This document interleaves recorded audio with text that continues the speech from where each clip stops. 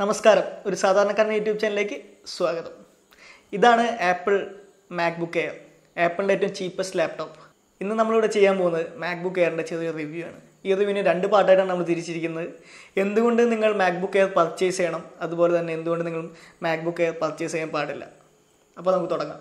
ഈ റിവ്യൂ തുടങ്ങുന്നതിന് മുമ്പായിട്ട് നമുക്ക് ഇതിന്റെ സ്പെക്ക് വെറുതെ നോക്കാം.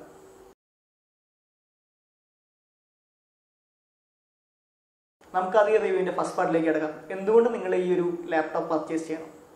ആ ഒരു ചോദ്യത്തിന്റെ ഫസ്റ്റ് ഉത്തരം എന്ന് പറയുമ്പോൾ ആപ്പിൾ ബ്രാൻഡിങ് അത് തന്നെയാണ്.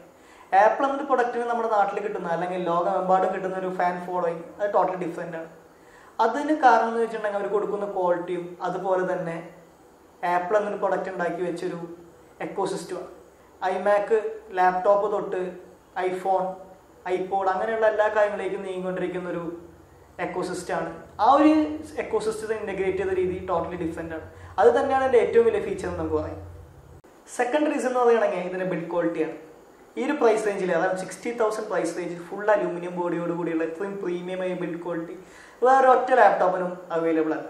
ഈ ഒരു ലാപ്ടോപ്പിന്റെ ഇൻഹാൻഡ് ഫീൽ എന്ന് പറയുമ്പോൾ അത് ടോട്ടലി ഡിഫറെന്റ് തന്നെയാണ്.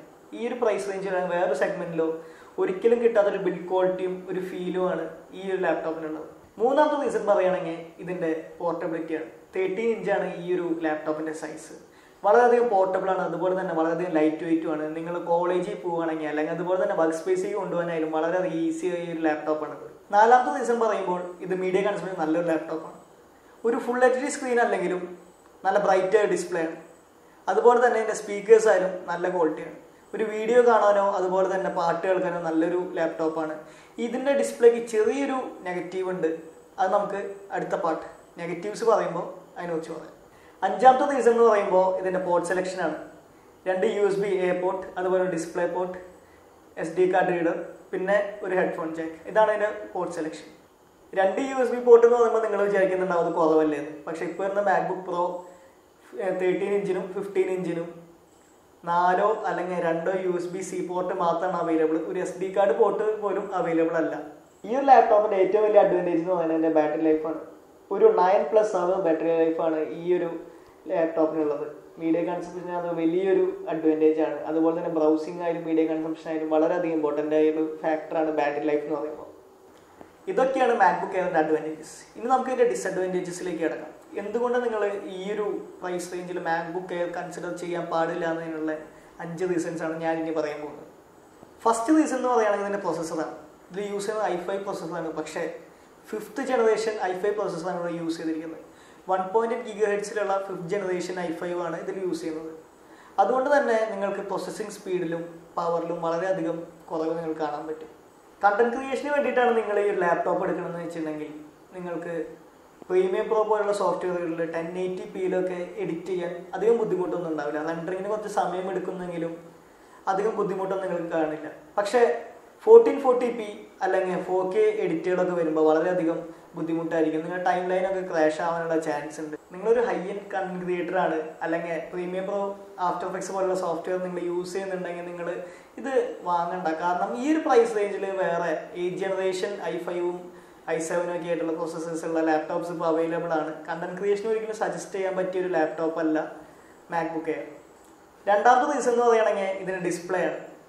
ഒരു ഫുൾ എച്ച് ഡി പാനലല്ല ഇതിൽ യൂസ് ചെയ്തിരിക്കുന്നത്? പക്ഷേ റെസൊല്യൂഷൻ ഇതിനെ കാര്യമായിട്ട് ബാധിക്കുന്നില്ലെങ്കിലും നമ്മുടെ ലാപ്ടോപ്പ് മുന്നിലേക്കോ താഴേക്കോ ചരിക്കുമ്പോൾ ഉണ്ടാകുന്ന കളർ ഷിഫ്റ്റ് വളരെയധികം എടുത്തു കാണുന്നുണ്ട്.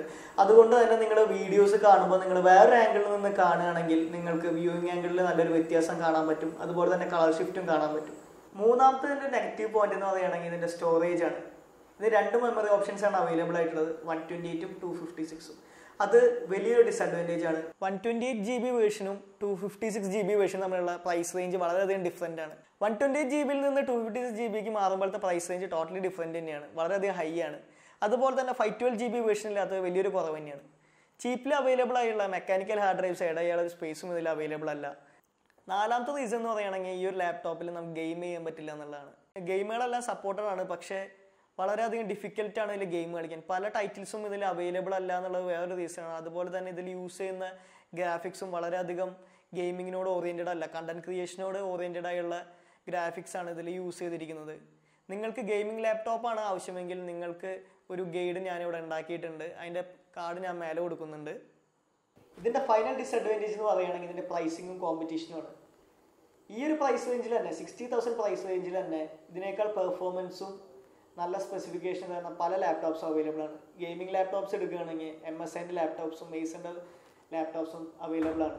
പെർഫോമൻസും അല്ല ഗെയിമിംഗ് ആണ് നിങ്ങൾ ഉദ്ദേശം വെച്ചിട്ടുണ്ടെങ്കിൽ ഒരിക്കലും മാക്ബുക്ക് എയർ വാങ്ങരുത്. ഇതിന്റെ ഏറ്റവും വലിയ ഡ്രോബാക്ക് എന്ന് പറയുന്നത് ഇതിന്റെ പെർഫോമൻസ് ആണ്. ഈ ഒരു പ്രൈസ് റേഞ്ചിൽ തന്നെ നല്ല പെർഫോമൻസ് ഉള്ള പല ലാപ്ടോപ്സും അവൈലബിൾ ആണ്. ബ്രൗസിംഗ് മീഡിയ കൺസംഷൻ അതുപോലെ തന്നെ ആപ്പിൾ എക്കോസിസ്റ്റം ഈ മൂന്നുമാണ് നിങ്ങളുടെ ഉദ്ദേശം എന്ന് വെച്ചിട്ടുണ്ടെങ്കിൽ നിങ്ങൾക്ക് ധൈര്യമായിട്ട് ഈ ഒരു ലാപ്ടോപ്പ് എടുക്കാം. പക്ഷേ പെർഫോമൻസ് ഗെയിമിംഗ് അതുപോലെ തന്നെ വീഡിയോ എഡിറ്റിംഗ് കണ്ടന്റ് ക്രിയേഷൻ ഇതൊക്കെയാണ് നിങ്ങളുടെ ഉദ്ദേശം എന്ന് വെച്ചിട്ടുണ്ടെങ്കിൽ ഇതൊരു നല്ലൊരു ഓപ്ഷൻ അല്ല. അപ്പോൾ ഇതായിരുന്നു മാക്ബുക്ക് എയറിനെ കുറിച്ച് നമുക്ക് പറയാനുള്ളത്. നിങ്ങൾക്ക് ഈ വീഡിയോ ഇഷ്ടപ്പെടുകയാണെങ്കിൽ ലൈക്ക് ചെയ്യുക സബ്സ്ക്രൈബ് ചെയ്യുക അതുപോലെ തന്നെ തൊട്ടടുത്തുള്ള ബെൽ ബട്ടൺ ഒന്ന് അമർത്തുക.